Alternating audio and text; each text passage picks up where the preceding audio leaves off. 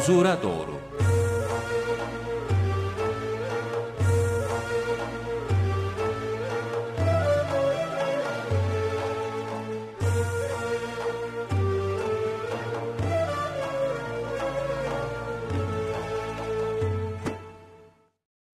Merhaba sevgili izleyicilerimiz. Yeni bir programla daha sizlerle birlikteyiz. Her zaman olduğu gibi Osman Ünlü hocamız var yanımızda. Yine kendisiyle sohbet edeceğiz ve sizlerin merak ettiği konulardan birini daha soracağız. Hocam, e, her insanda akıl var. E, ama bu akılla doğruyu, eğriyi bir türlü bulamıyor. Herkesin e, bulduğu şey farklı veya doğru dedikleri şey yanlış olabiliyor insanların. E, dolayısıyla e, yani akıl da bir e, bir şekilde ölçü değil demek veya bizim ona yaslanabileceğimiz, güvenebileceğimiz bir e, ölçü aleti değil. Tek kaynak değil Tek yani. kaynak değil veya hep siz anlatıyorsunuz ya bir rehbere ihtiyaç var yani. Her aklında bir üstünde akıl var. Ona ihtiyaç var demek ki. Şimdi e, hakkı batıldan ayırmak çok zor olduğu için mi acaba e, böyle bir şey e, akıl yetmiyor? Mustafa Bey, ehl-i sünnet alimleri didiklik etmişler. Mesela İmam Gazali Hazretleri de çok uğraşmış. Ee, kitaplarda yazmış. Mesela El, El Munkız e, kitabında uzun uzun bunları da anlatmış ve bildirmiş. İmam Rabbani Hazretleri bildirmiş. Bütün eğitimciler de uğraşmışlar. Ee, şimdi bir, yani ulaştıkları nokta allah Teala tamam insanda akıllı yaratmış ama her insanda eşit yaratmamış.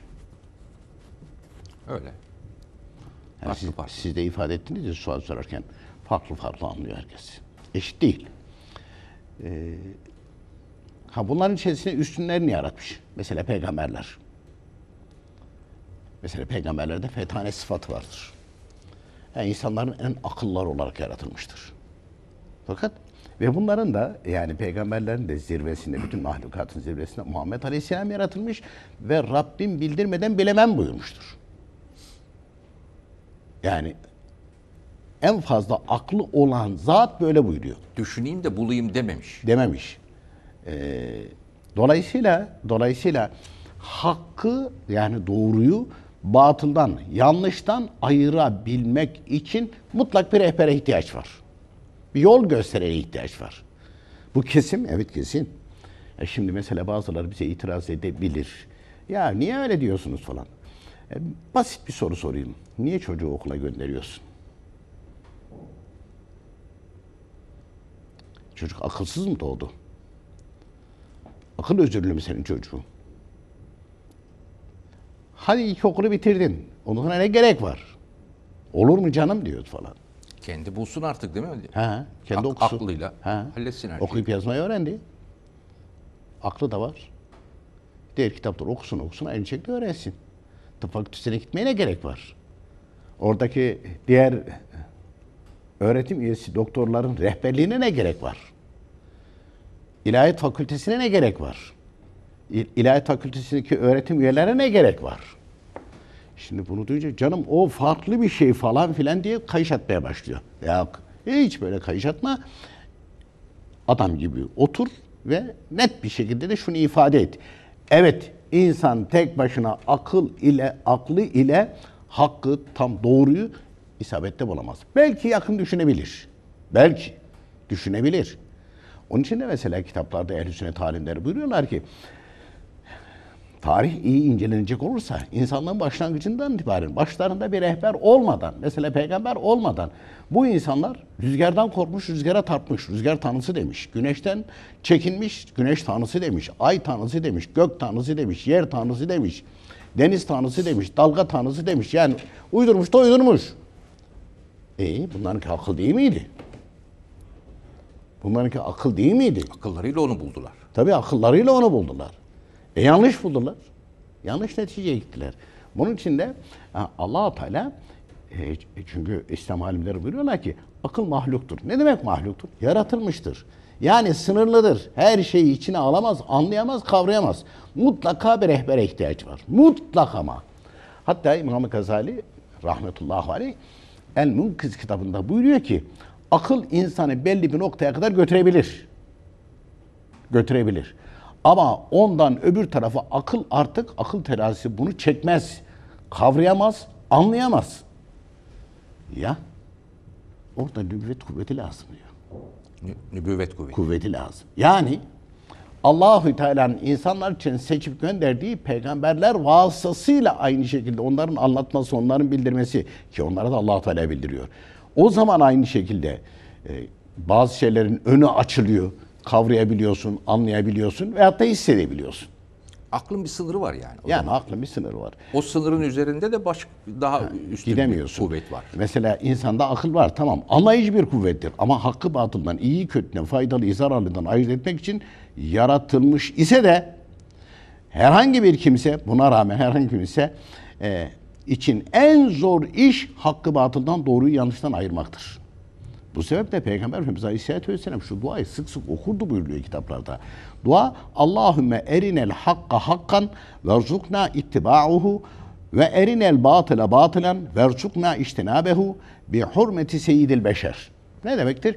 Ya Rabbi doğruyu bize doğru olarak göster ve ona uymayı bize nasip et ve yanlış, bozuk olan şeylerin yanlış olduklarını bize göster ve onlardan sakınmamızı nasip et. İnsanların en üstünü hürmetine bu duamızı kabul buyur. Buyuruyor Peygamber Efendimiz Aleyhisselatü Vesselam. Ki hani e, burada Vehhabiler ve Mezhepsizler efendim tevessül etmek falan. E, Peygamber Efendimiz tevessül ediyor. E, yani diyor bana bunu e, bir hürmet seyyidil beşer. İnsanların en üstünü, efendisi, üstünü yaratılmışın hürmetine yani kendisini vesile ederek aynı şekilde bunu bildirmiş. E sen kalkıyorsun Peygamber Efendimiz'in Aleyhisselatü Vesselam bildirdiğini. Efendim olmaz öyle şey. O da aklıyla söylüyor tamam mı? O da aklıyla. Aklı, aklı almayınca bu yanlış diyor. Halbuki doğru. Halbuki doğru. Ama o kendi kısa ve belki de olmayan aklıyla kalkıyor bu yanlış diyor. Onun için hakla batılı, yanlışı e, yani tek başına bir aklın ayırabilmesi mümkün değil. Şimdi gözünü açmış hırsızlıkla doğup büyümüş olan için e, hırsızlık meziyettir ona göre. Onun tersini düşünemez o. Peki onda akıl yok mu? Var. E niye doğruyu bulamadı? Hırsızlığın yanlış olduğunu niye bulamadı? E, Mesela o eski Yunanlılarda e, hırsızlar böyle halk arasında kahraman olarak bilinirmiş. Yani özellik e, övülmesi gereken bir meziyet olarak kabul edilirmiş. E onlar da akıllarıyla buldular bunu. Değil mi? Onlar da akıllarıyla. Efendim insan öldürmek. Şimdi mesela hayvanseverler var. Öbür taraftan aynı şekilde insanlar katlediliyor. Adamı kı- kıpırdamıyor. Avrupalılar efendim insan hakları, bilmem ne hayvan hakları, balinalar işte sahile vurmuş, telef olmuş falan. E, öbür tarafta aynı şekilde bakıyorsun Suriye'de, Filistin'de, Irak'ta, Afganistan'da patır patır aynı şekilde Müslümanlar katlediliyor. Adam kılı kıpırdamıyor. Afrika'da aynı şekilde kendilerini katlettiği insanların sayıları belli değil. Sayıları belli değil. Hepsi katil sürüsü aslında. Katil katile yardım ediyor. E peki bunlarda akıl yok mu? Var. E peki hayvan hakkı derken aynı şekilde insan hakkı ne oluyor? Yok öyle bir şey söz konusu değil. Demek ki yani tek başına akıl hakla batılı birbirinden ayıramaz. Bunun için de mutlak aynı şekilde bir yol gösteren şart. Yol gösteren şart. Hiç kimsenin tek başına doğruyu bulması mümkün değildir. Mutlak bir rehberin, yol gösterenin olması lazımdır. Bu rehberler ehl-i sünnet alimleri ve onların kitaplarıdır. Tabi onlardan önce de peygamberlerdir. Kitap mühim bir arkadaştır ve iyi seçmek lazımdır. Ehl-i sünnet alimlerinin kitaplarını bulanlar bu büyükleri sevmeye başlar. Dünyada ve ahirette onlarla beraber olmak isterler ve onlar gibi yaşamak isterler. Böylece de doğru olup felaketten kurtulmuş olurlar. Peygamber Efendimiz Aleyhisselatü Vesselam bir hadis-i şerifte buyuruyor ki Beni İsrail 71 fırkaya ayrılmıştır. Bunlardan 70'i cehenneme gidip ancak bir fırkası kurtulmuştur. Nasara yani Hristiyanlar da 72 fırkaya ayrılmıştır. 71'i cehenneme girmiş, gitmiştir. Bir zaman sonra benim ümmetim de 73 kısma ayrılır. Bunlardan 72'si cehenneme gidip yalnız bir fırkası kurtulur buyuruyor. Eshab-ı kiram da soruyor bunlar kimlerdir? Cehennemden kurtulan fırka benim ve eshabımın gittiği yolda gidenlerdir. Şimdi Mustafa Bey yani diyecek ki ya akıl her şey. İyi de arkadaş bak Yahudiler 71 fırkaya ayrılmış. Hristiyanlar 72 fırkaya ayrılmış. Peygamber Efendimiz benim ümmetim de Müslümanlar da 73 fırkaya ayrılacak buyuruyor. Ayrıldı. Bunlar akıllarıyla yaptı bir arkadaşım bunlar değil mi? Akıllarıyla ayrıldılar. yani çok akıllı oldukları için tırnak içinde. Bunları akıllarıyla yaptılar. Hani şimdi diyor ya efendim akıl var işte tek kaynak Kur'an. E tek kaynak Kur'an da Türkiye'de birçok tercüme var. Niye farklı? Niye farklı? 100 tane var. 100 de diyor ki benimki çok doğru. Ya arkadaş 100'e ayrıldınız. Hatta bine ayrıldınız. Hepiniz diyorsunuz ki benimki doğru. Niye? Bunların hepsinde akıl yok mu? Var. Niye tek bir hüküm çıkmadı? Çıkaramadı. Mezheplere karşıydılar bunlar. Mezhepler sonradan çıkmış. Ayrılık bunlar. E sen aynı şekilde mezhepler ehl sünnetin ameldeki mezhebi dörttü. Şimdi dört bin tane aynı şekilde görüş çıkardın ortaya. 4 milyon. 4 milyon. Hatta insan sayısınca çıkardın. E, neresi birlik ve beraberlik? Dolayısıyla dolayısıyla e, yani akıl tamam lazım. Lazım. Ama akla bu doğru, bu yanlış diyen bir rehber lazım. Bunlar peygamberler ve sonra da o peygamberlerin varisi olan ehl sünnet alimleridir. Peki efendim çok teşekkür ediyoruz. Sevgili izleyicilerimiz böylece bize ayrılan sürenin sonuna geldik. Programımız diğer bölümlerle devam edecek. Yeniden buluşuncaya kadar hoşçakalınız. Sevgili Peygamberimiz buyuruyorlar ki, alimlerin iyisi, insanların en iyisi, kötüsü de insanların en kötüsüdür. Yazıklar olsun kötü alimlere ki, ilmi ticarete alet ederler, amelsiz alim mum gibidir, kendini yakar, insanları aydınlatır. Biat-ı nisa, kadınların biati yalnız söze bağlıydı. Sözleydi. Resulullah'ın mübarek eli biat eden kadınların eline dokunmadı. Kötülenmiş sıfatlar ve kötü huylar erkeklere nispetle kadınlarda daha çok olduğundan biat şartları erkeklerden daha çok oldu. Biatür Rıdvan'da biat edenlerin cümlesinden Allahü Teala razıdır. Cümlesi ehli cennettir. Biatür Rıdvan ehli mutlaka ehli cennettir. Padişahların, devlet başkanlarının iyi ve kötü huyları ve işleri bütün millete yayılır. Pir Allahü Teala'ya kavuşmaya vesiledir. Maksud olan Hak Subhanehu'dur. Pir müritlerin yetişmesine sebep olduğu gibi müritler de pirin olgunlaşmasına sebeptir. Pir iletken gibidir. Kalp makamına inmiş olup ruh ile nefs arasındadır. Ruh yolu ile aldığı feyzi nefs yolu ile taliplere dağıtır. Pir hayattayken diğer pire bağlanmak caizdir. Pir nakıs, nakıs pir talibi saptırır. Pir kamil ve mükemmel ise sohbeti büyük nimettir ve onun bakışı deva ve sözleri sohbeti şifadır ve o sohbetsiz vusul kavuşmak mümkün değildir. Pirin cezbesi sülükten önce olmuş ise kibriti ahmerdir. Bulunmaz bir nimettir. Güller, sümbüller,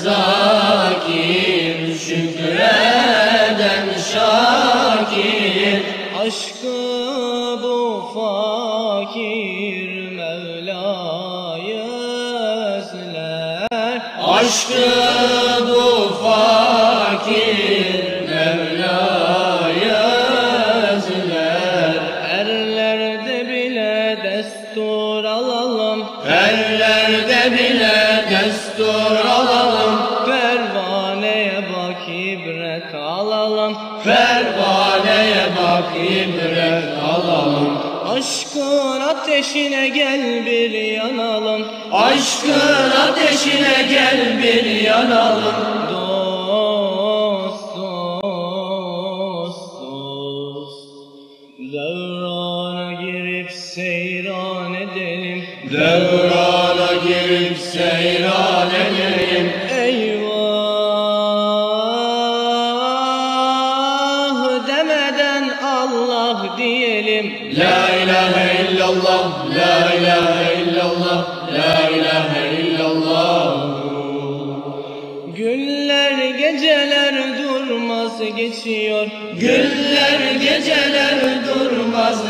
geçiyor Sermayen olan ömrün bitiyor. Sermayen olan ömrün bitiyor. Bülbüllere bak efkar ediyor. Bülbüllere bak efkar ediyor. Ey Gonca açıl mevsim geçiyor. Ey Gonca açıl mevsim geçiyor. Dost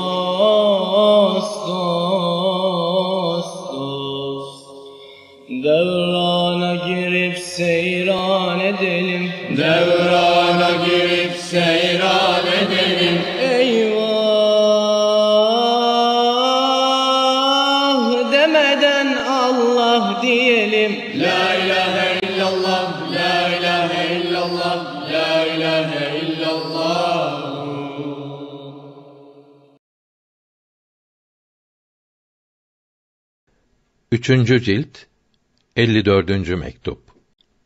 Bu mektup Hanı Cihan'a rahmetullahi teala aleyh yazılmıştır. Sağlam olan dine yapışmayı ve dünya işlerini yaparken İslamiyete uymaya dikkat etmenin din ile dünyayı birlikte kazanmak olduğunu bildirmektedir. Dünyanın tatlı şeyleri ve geçici nimetleri ancak bu parlak dine uymakta yardımcı oldukları zaman faydalı ve helal olurlar. Dünya kazancı ahiret kazancıyla birlikte olduğu zaman işe yarar. Ahireti kazanmaya yardımcı olmayan dünya nimetleri şekerle kaplanmış zehir gibidirler. Bunlarla ahmak olanlar aldatılmaktadır. Allahü Teala'nın bildirdiği tiryak ile bu zehirlere ilaç yapmayanlara yazıklar olsun. Bu şekerli, tatlı zehirleri İslamiyetin emirlerini ve yasaklarını yapmak güçlüğüne katlanarak tedavi etmeyenlere çok acınır. Kısaca İslamiyete uymak için biraz çalışan, biraz harekete geçen kimse sonsuz olan kazançlara kavuşur. İslamiyetin emirlerine ve yasaklarına uymak çok kolaydır. Fakat az bir gaflet ile ve gevşeklik ile de bu sonsuz nimetler elden çıkar. Uzağı gören, doğru düşünebilen akıl sahibinin bu parlak dine uyması lazımdır. Ceviz ile kozalak ile oyuna dalarak faydalı şeyleri elden kaçıran çocuk gibi olmamalıdır. Dünya işinizi yaparken İslamiyete uymaya dikkat ederseniz peygamberlerin aleyhimüs salavat ve teslimat yolunda bulunmuş olur, bu sağlam dini nurlandırmış ve yaşatmış olursunuz. Ya Rabbi, sevdiğin ve beğendiğin işleri yapmayı bize nasip eyle. Alaaddin Attar Allah sevgisine, dünya ahiret saadetine kavuşturan Allah dostlarını yani evliyaları anlatmaya devam ediyoruz. Bu bölümümüzde o isminin bile gönülleri gülistana çeviren bir zamanların ilim ve muhabbet diyarı nice büyük evliyaların yetiştiği Buhara'dayız. Büyük Veli Alaaddin Attar Hazretlerini anlatacağız kısaca. Alaaddin Attar Buhara'da gelir dünyaya. Ailesi zamanın büyük ticaret merkezlerinden biri olan Buhara'nın asil bir ailesi olmasının yanında pek de bir varlıklıdır. Üç kardeşten en küçükleridir Alaaddin. Ağabeylerinin ticaret hedefleri Alaaddin'in hiç çekmez ilgisini. Onun gözü, gönlü başka yerdedir. babalarının vefatıyla büyük bir serveti yönetmek üç kardeşe kalmışken Alaaddin reddi miras eder. Yani onca mirasa dönüp bakmaz bile. O bitmeyen mirasın taliplisidir. O Allahü Teala'ya kul, kullarına hizmet ve irşada taliptir. Elbet önce talebe olmak gerektiğini pek iyi bilir. Gelmiş geçmiş evliyaların en önde gelenlerinden olan Büyük Veli Bahaddin Buhari Hazretlerinin eşiğine atar kendisini ve talebe olmak istediğini söyler.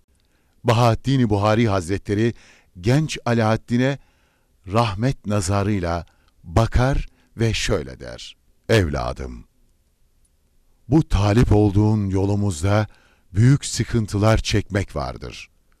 Dünyayı ve nefsini terk edebilecek misin? Alaaddin Attar pek bir edeple Allahü Teala'nın izin ve yardımı sizin himmetinizle yaparım der. Önce nefsi ezilse gerektir. Hocası ona pazarda elma satmasını emredince tereddütsüz kabul eder. Bu aslında zor bir şeydir. Çünkü o pek itibarlı bir ailenin zengin bir ferdidir. Fakat Alaaddin'in içindeki ihlas ve muhabbet öylesine büyüktür ki önce pazarda daha sonra kardeşlerinin büyük itirazlarına ve eziyetlerine rağmen hocasının emri üzerine kardeşlerinin dükkanının önünde elma satar. Alaaddin hocasının verdiği emri harfiyen yerine getirir, geçer imtihanı. O artık dizi dibinde oturduğu Bahattin Buhari Hazretlerinin gönlüne okyanustan ilimler akıttığı Alaaddin'dir. Sadece ilim değil elbet. Bir de manevi ilimler vardır ki büyük denizlerden inci çıkarır gibi hikmetler deryasından incilerle süsler Alaaddin'in gönlünü Bahattin Buhari Hazretleri. Alaaddin teslimiyetin, ihlasın ve muhabbetin zirvelerinde dolaşan bir talebe olduğu için elbette hızla yükselir akranları ve arkadaşları arasında. Zekası, aklı, ihlası ve çalışkanlığıyla din ve dünya ilimlerinde bir büyük alim olur Alaaddin. Dahası hocasının bereketli nazarlarıyla büyük bir evliya olur.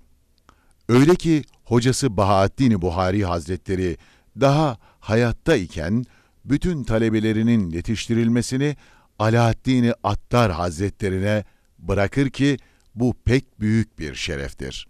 Ve dünyanın dört bir yanından akın akın mübarek Buhara'ya muhabbet ve ilim şerbetleri içmek için gelen kimseler Alaaddin Attar Hazretlerinin sohbetine kanar, ilimden nasiplenir, nazarlarına muhatap olarak evliya olur ve dünyanın dört bir yanına Buhara'dan aldıkları ışığı taşırlar.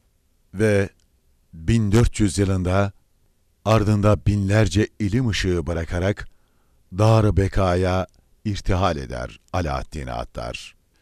Teslimiyetin ve muhabbetin insanı nasıl iki cihanda aziz ettiğinin en büyük örneklerinden olan Alaaddin Attar Hazretleri buyurdular ki, Allahü Teala'nın veli kullarıyla sohbet etmek, öbür alemin işlerini yürütmeye yarayan aklı arttırır. Bir kimse susup duruyorsa, onun bu hali şu üç şeyden boş olmamalıdır. Bir, gönüle kötü duyguların girmesini önlemek. İki, Allahü Teala'yı sessiz sessiz zikretmeyi, anmayı sağlamak. Üç, kalp hallerini gözetmek. Namaza başladığın zaman Hak Teâlâ Hazretlerinin gördüğünü ve Peygamber Efendimiz'i karşında görür gibi kemali edeple namaza başla ki namazın hakiki namaz olsun. Eğer vücudun namazda, kalbin başka yerde olursa o namaz makbul namaz değildir. Böyle olunca önce kelime-i temcid oku. Yani la havle ve la kuvvete illa billahil aliyyil azim. Sonra namaza başla. Niyet ettim bugünün sabah namazının sünnetini kılmaya diye kalbinden geçirip iki ellerini yukarı kaldırıp baş parmaklarını kulaklarının yumuşağına değdirirsin.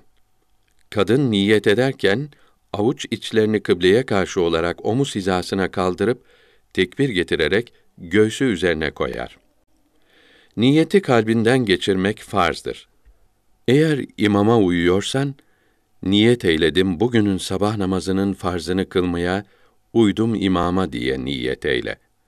Allahu Ekber diyerek ellerini kulaklarından göbek altına indir. Sağ eli sol bilek üzerine bağla. Kadın göğsü üzerinde, sağ eli sol el üzerine koyar. Tekbir alıp namaza girdikten sonra ayaktayken gözlerini secde yerinden ayırma. İki ayağını da birbirinden fazla ayırma. Aralarında dört parmak kadar bir mesafe kalsın. Sübhaneke'yi okumaya başla. Sübhaneke bittikten Euzu Besmele ve Fatiha suresini tam olarak okuduktan sonra besmele okumayarak bir sure veya üç ayet kadar bir ayet veyahut üç ayet oku. Bunları bitirdikten sonra Allahu Ekber diyerek rükûa eğilirsin. Dizlerinin kapaklarını avuçlarının içiyle kaplarsın. Bu esnada sırtın tam olarak düz ve başınla arkan aynı seviyede düz bir şekilde olacaktır. Hazreti Ayşe radıyallahu anha buyurdu ki, Resulullah sallallahu aleyhi ve sellem namaz kılarken rükûa eğildiği zaman o kadar düz dururlardı ki eğer arkasında bir dolu kase su olsa imkanı yok dökülmezdi. Yalnız kadınların rükûda arkalarının tam olarak düz olmaması lazımdır. Düz olmaya yakın fakat erkekler gibi tam düz olmayacaktır. Bu ayrılığın dini olduğu kadar sıhhi önemi de vardır. Zaten yaptığımız bütün ibadetlerde, dinimizin emrettiği gibi yapılan ibadetlerde birçok sıhhi ve içtimai faide ve hikmetler mevcuttur. Rükûda gözler iki ayak arasına bakacaktır. Rükûda üç defa Sübhane Rabbiyal Azim dedikten sonra Semiyallahu limen hamide diyerek doğrul ve dimdik olarak dururken Rabbena lekel hamd de ve ondan sonra Allahu ekber diyerek secdeye git. Tadi ile erken rükûdan doğrulunca dik olarak rahat durmaktır. Yine bunun gibi secdeden kalkınca rahatça oturup ondan sonra ikinci secdeye gitmektir. Böyle dik durmaya ve oturmaya tadi ile erkan denir. Secdeye giderken evvela iki dizini, sonra ellerini yere koy. Burunla alnın ikisi de yere konması lazımdır. Şayet burnun yere değip alnın değmezse veyahut alnın değip burnun değmezse İmamı Ebu Yusuf ve Muhammed'e rahimehumallahü teala göre namaz sahih olmaz. İkisi de yere değmesi lazımdır. Dirseklerini yere döşeme. Kadınların döşemesi lazımdır. Karnını uyluklarından ayır. Kadınlar ayırmaz. Yere tahta, taş koyup üzerine özürsüz secde etmek caiz değildir. Bunların yüksekliği 25 santimetreden çok iseler namaz sahih olmaz. Az ise mekruh olur. Secdede de üç kere Sübhane Rabbiyal Ala söyle ve Allahu Ekber deyip başını kaldır. Sağ ayağını dikip uylukların üzerine otur. Burada sağ ayağın parmakları kıbleye karşı olsun. Rahatça oturduktan sonra tekrar secdeye git ve evvelki secdede olduğu gibi üç kere tesbih söyle. Ondan sonra Allahu Ekber diyerek evvela başını, sonra ellerini, daha sonra da dizlerini yerden kaldır. İhtiyar veya özür sahipleri müstesnadır. İki ellerini eskisi gibi göbeğinin altına bağla. Kadınlar göğüs üstüne kor. Yalnız besmele ile Fatiha suresini ve Zamm-ı sureyi Fatiha'dan sonra okunan üç ayete veya üç ayet miktarında uygun bir ayete zamm-ı sure denir. Tam olarak okuyup ellerini çöz, Allahu ekber diyerek rükûa, Ondan sonra secdeye var ve aynen birinci rekat gibi tesbihlerini yap. Secdeye iki defa gideceğini unutma. Rükûa eğilirken, secdeye giderken, secdeden kalkıp otururken ve ikinci defa olarak secdeye giderken Allahu Ekber demeyi de unutma. Son olarak secdeden kalkınca iki ellerini iki dizlerinin üzerine koy ve parmaklarını dizlerinin üzerine kendi haline kıbleye karşı uzat ve hiçbirini oynatma. Kollarını karnına doğru yapıştırma. Gözlerini iki ellerinin üzerinden ayırma. Tahiyyat ve salavatı okuduktan sonra istersen kısa bir dua daha okuyup evvela sağ, sonra sol tarafına başını çevirip gözlerini omuzunun ucuna dikip birer kere Esselamu aleyküm ve rahmetullah de.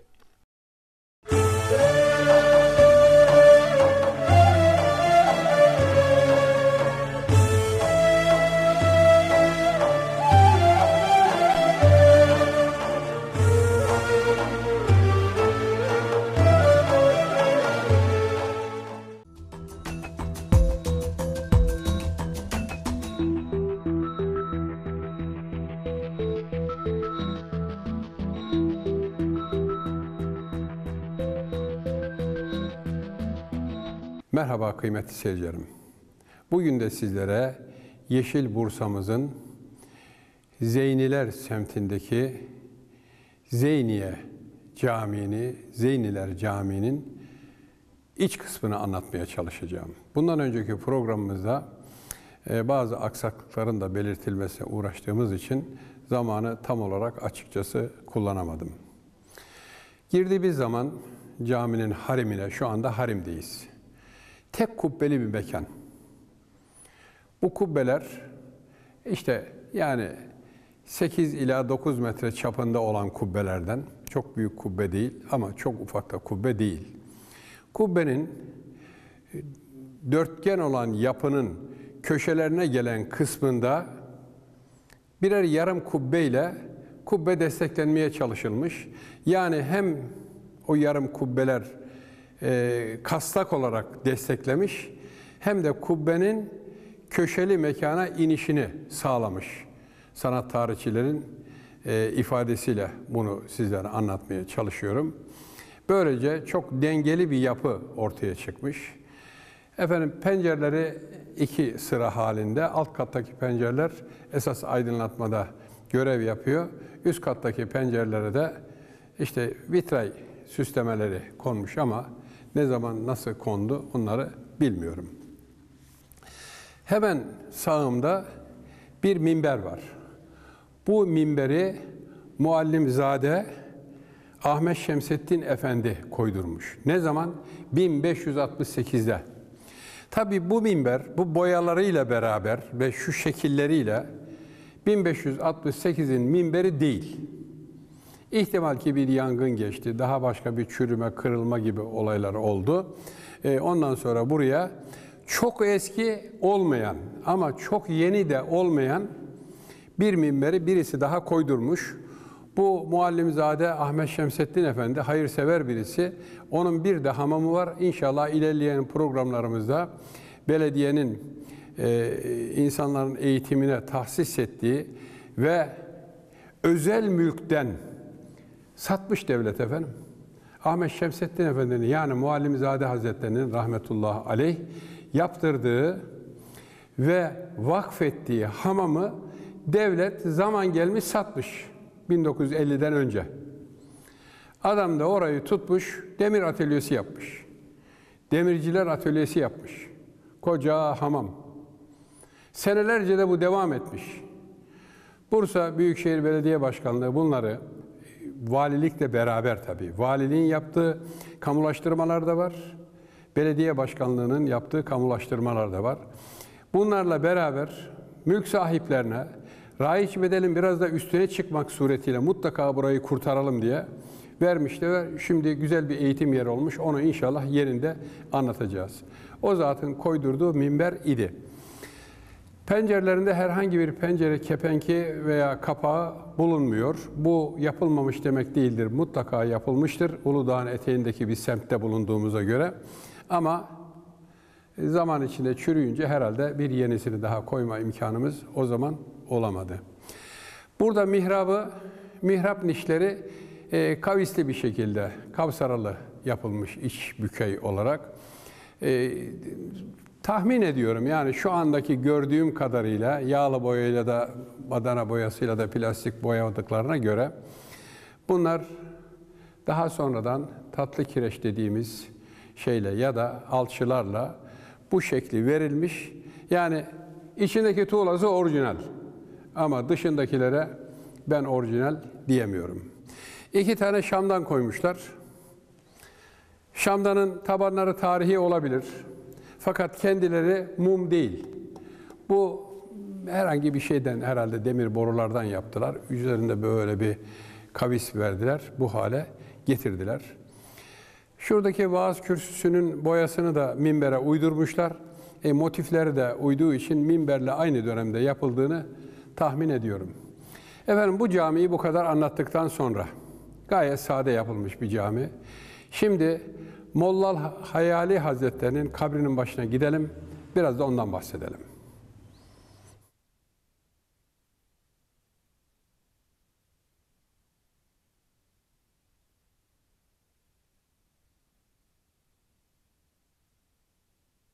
Molla Hayali Hazretleri'nin kabrinin başına geldik.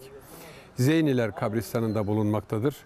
Burada ayrı bir ada olarak Zeyniler kabristanı görünüyor ama daha önceki zamanlarda şuradan itibaren caminin ihata duvarının kabristana kadar uzadığını ben tahmin ediyorum. Şu ara bölümü de işte karşı yerlerdeki evlerde oturanların bu taraflara geçebilmeleri için yaya yolu kalsın diye böyle bırakılmış. Bir de tabii ziyarete gelenler oluyor. E, kabristanın e, giriş kapısı da burası kabul edilmiş. Şimdi öyle görünüyor yani. E, gelen ziyaretçiler için de Molla Hüseyin Hazretleri ziyarete gidenler için de buranın açık olmasına artık bir ihtiyaç var gibi görünüyor. Gerekli bilgileri Büyükşehir Belediye Başkanlığı, Bursa Büyükşehir Belediye Başkanlığı buraya bir levha halinde koymuş. İnşallah bunlar yağmurdan, yaştan da herhangi bir şekilde zarar görmezler. Gelenler bunu tabii fark edemiyorlar. Ya bu küçük bir şey herhalde diyorlar. E, Zeyniye Zeyniler kabristanına gidiyorlar Molla Hüseyin Hazretleri'ni ziyarete. Burayı da ihmal etmemek lazım. Zamanının büyük evliyasıydı. Derin ilim sahibiydi. 1448'de yani Zeyniler Camii yapılmadan bir sene önce doğdu. O cami yapıldığında bir yaşındaydı. Fatih Sultan Mehmet Han'ın vefat ettiği senede 1481'de vefat etti. 33 yaşında vefat etti. Küçük yaştan itibaren kadı olan babasından e, ilk eğitimini güçlü bir şekilde aldı. Ondan sonra da Hızır Bey vardı. Zamanın meşhur müderrislerinden. Hızır Bey'den bazı dersler aldı. Onun hem talebesiydi hem de muidi yani yardımcısı idi. Diğer talebelere, kendi emsali talebelere de hocası olmadığı zamanlarda ders okuturdu veya ikinci bir okutman olarak orada bugün öyle diyorlar ya okutman diyorlar. Orada görev yapardı. Yaşadığı 33 senenin çocukluk hariç diğer kısmında geceleri gündüzlere katmıştır. Yani geceleri doğru dürüst uyku uyumazdı. Kitapların tarif ettiğine göre kitapların tarif ettiğine göre gece uykusu geldiğinde bir yere dayanır, böyle ayakta kitap okur, okur, okur, okur. O kitap okurken azıcık bir dalması ora uyku yerine geçerdi diyor kitaplar efendim. Kollarının bazı kısmını şöyle iki parmakla birleştirmeye çalıştığınızda birleşirmiş efendim. Yani ne yerdi, ne içerdi, nasıl beslenir, nasıl ayakta dururdu, günde kaç defa yerdi varın hesaplayın efendim. Ve İznik medresesi de Osmanlı'nın bir numaralı medresesi o zamanlar. Fatih Sultan Mehmet Han zamanında. Bir numaralı medrese. İznik medresesinin müderrisi vefat eder. Buraya bir müderris lazım.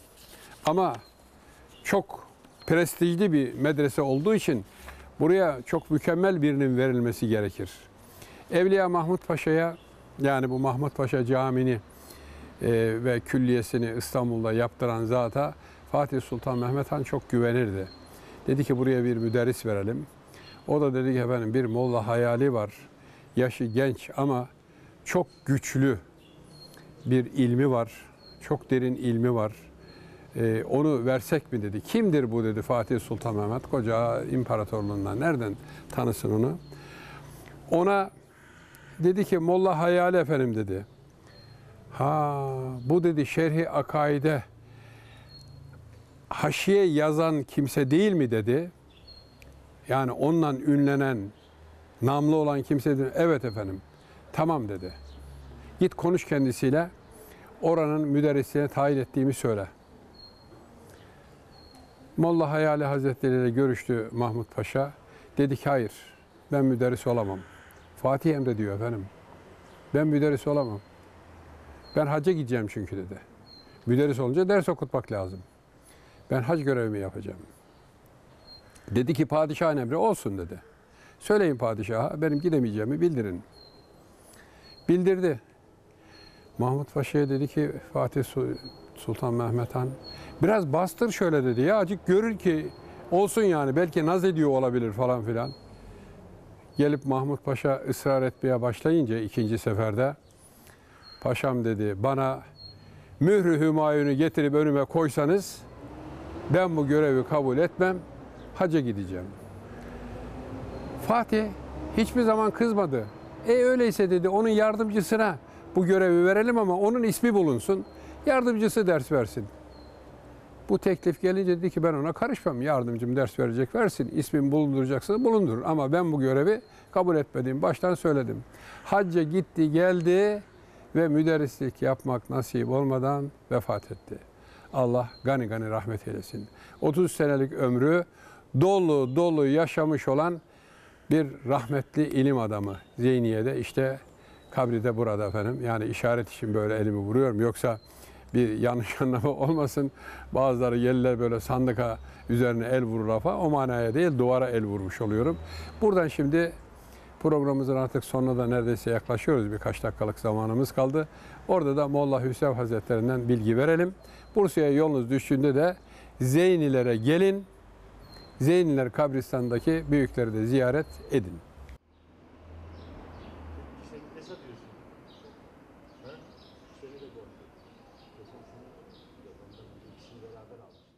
Molla Hüseyin Hazretlerinin kabrinin hemen yanındayım. Kabri şebekelidir. Şebekeli olduğu için de fazla bir zarar görememiş, e, görmemiş. Öbür kabirlerde bayağı bir tahribatlar, taşlarında falan tahribatlar olmuş. Neyse ki şu anda korumaya alınmış. İnşallah bundan sonra böyle zarar ziyan verenler olmaz. Asıl adı Muhammed'di. Mehmet yani. Babasının adı da Feramuz'du. Babası Fransız subayıyken Müslüman oldu.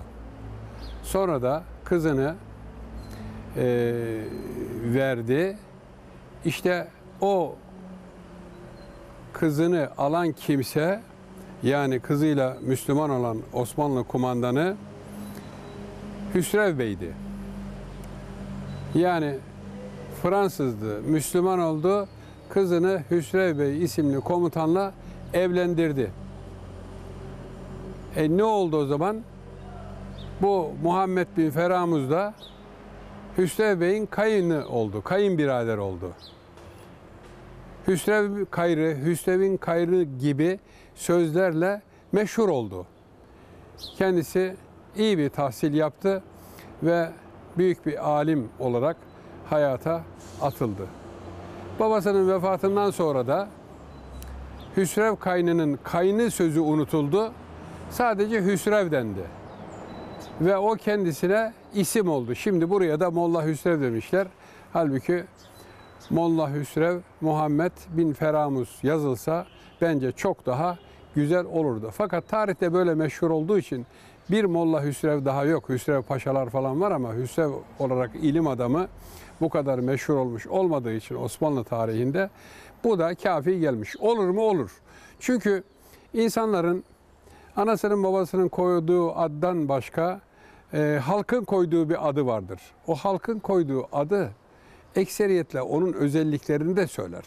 Anası babası oğlum iyi olsun diye, yumuşak huylu olsun diye efendim güzel isimler koyabilir. Fakat çocuk o halde olmayabilir. Ama halkın lakap olarak verdiği şeyler ekseriyetle onda gördükleri bir cevherden dolayıdır.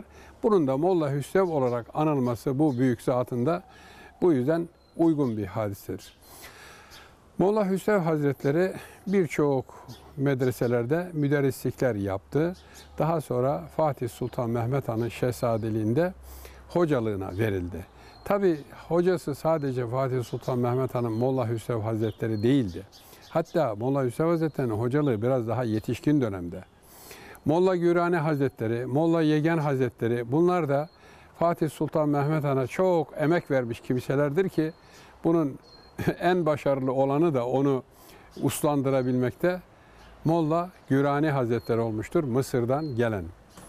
Molla Hüsrev Hazretleri Fatih Sultan Mehmet Han'ın tahta geçtiğinde, birinci tahta geçişinde efendim kazaskeriydi.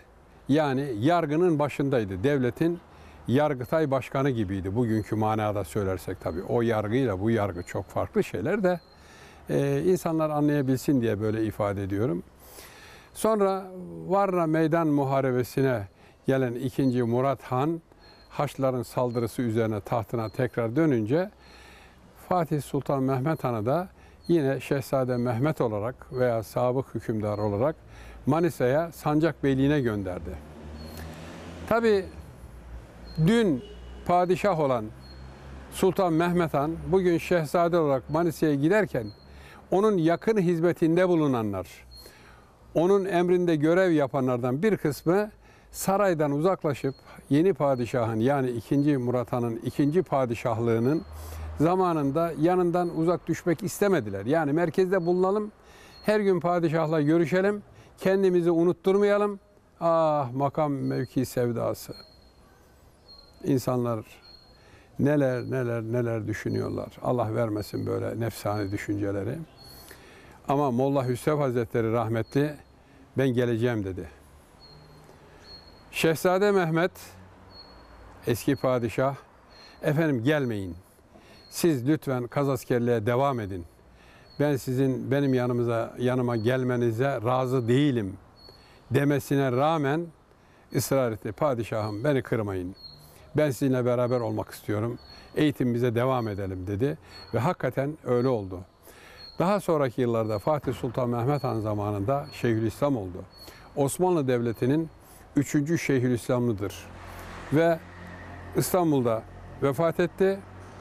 Sonra buraya getirildi. Zeyniler kabristanına defnedildi. Şu anda da biz burada Fatihalarımızı okuyoruz. Sizler de ekranınızın başında Molla Hüsrev Hazretlerine ve burada bulunan Zeynilerdeki kabirlerde yatan Zeyniler büyüklerinin ruhlarına da toptan Fatihalarınızı gönderebilirsiniz arzu ediyorsanız. Süremizi aşmak istemiyorum. Sonuna da geldik. Hoşça kalınız efendim.